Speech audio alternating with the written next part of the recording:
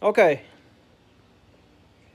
For some of you people out there in this world, yeah, go Cowboys out here, who has uh, a Ford F-150 3.5 EcoBoost twin turbo engine. For those, if you are having any types of problems with your uh, purge valve, you won't find this video anywhere else on YouTube. Uh, so I did my own research and I went to the dealership and I talked to those guys for like hours. And so we looked it up and like some uh, Ford F-150s have the purge valve. It's like a small purge valve, but others have, let me find it. Like mine, which is the 2015 uh, purge valve. This will be the purge valve that you need for your 2015 F-150. And it looks like this. It's about 109 bucks at the Ford place. You can't even find this at uh, AutoZone or Advanced Auto Parts because they don't sell it because it's a dealer item. And uh, so this is what I did because when I took my truck to the dealership, they want to charge me $802 to fix it. Here's a video, I mean a picture of my truck. It's the Lariat with the 3.5 uh, EcoBoost. So, that cover right there was the cover that, that was on top of the motor, which of course you have to take off the uh, oil cap. Then you replace the oil cap so that you don't get any type of debris in it. So, right here is the purge valve. So you just pop off this clip right here, this green clip right there, down there, they all just pop off.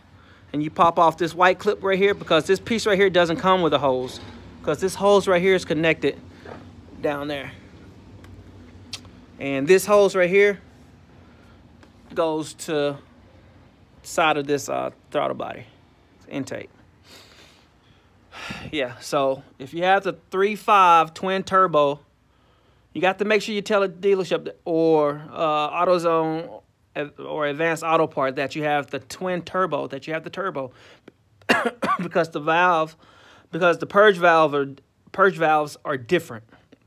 So this is the purge valve. This is the new one. I already replaced it. I, I kind of like clicked last minute to uh, get this on. So I'm also replacing my throttle body because apparently what I was what was happening, my truck was stall out. So I uh, get a code like 9112 code, which tells me that the throttle body was sticking closed. So therefore I have to like pull over on side of the road to uh, turn off the truck, start the truck back up. And this is how, this is one of the uh, causes of it.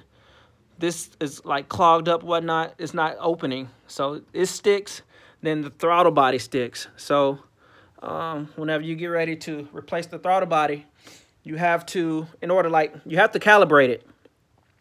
So you want to take out the negative and you want to take a jumper cable put it on here on the on the hot then run it across this negative right here to like erase all the codes so therefore, whenever you get ready to calibrate your uh, throttle body, uh, it'll calibrate. But whenever you do get ready to calibrate it and got everything hooked back up, whatnot, you have to let the motor run for 10 to 15 minutes.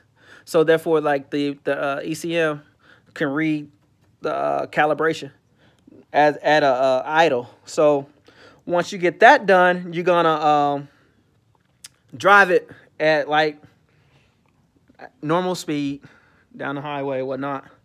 And so therefore the shift points can read your new throttle body. So that, that's a, that's how you uh, calibrate your new throttle body once you get it put back on.